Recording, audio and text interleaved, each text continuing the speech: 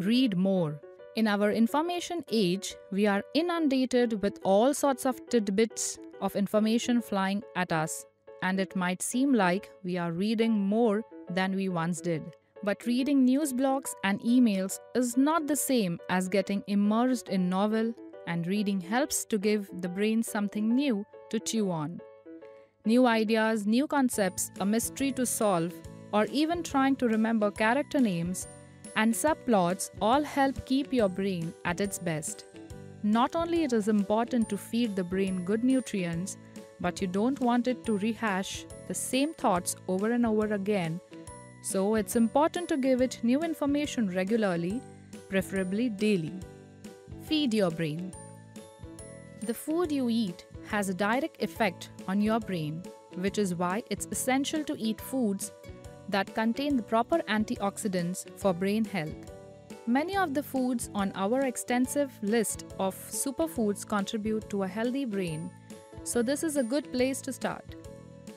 The reason they are so important is that they help the body defend against free radical damage, which can have a big impact on degenerative disorders that specifically target the brain. Battling back is an important step for overall neurological health. Stay positive. It's important to try to keep a positive outlook in order to keep your brain healthy. In fact, the two go hand in hand. When you are more positive, your brain releases different chemicals that allow you to feel even better. When you have a negative outlook, your brain doesn't release these endorphins and you are less likely to feel better going forward. It's better to get a positive spiral going so you can lift yourself upwards rather than run yourself into the ground mentally. Use music. Music is almost magical the way it can alter your mood, either making you sad when you otherwise weren't, or getting you revved up if you were calm and relaxed just moments ago.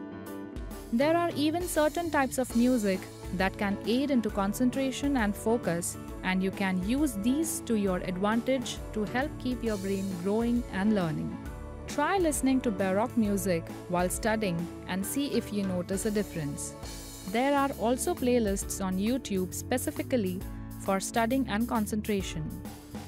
Each person has their own music tastes and responds differently to different types of music, so it's a matter of finding out what works best for you.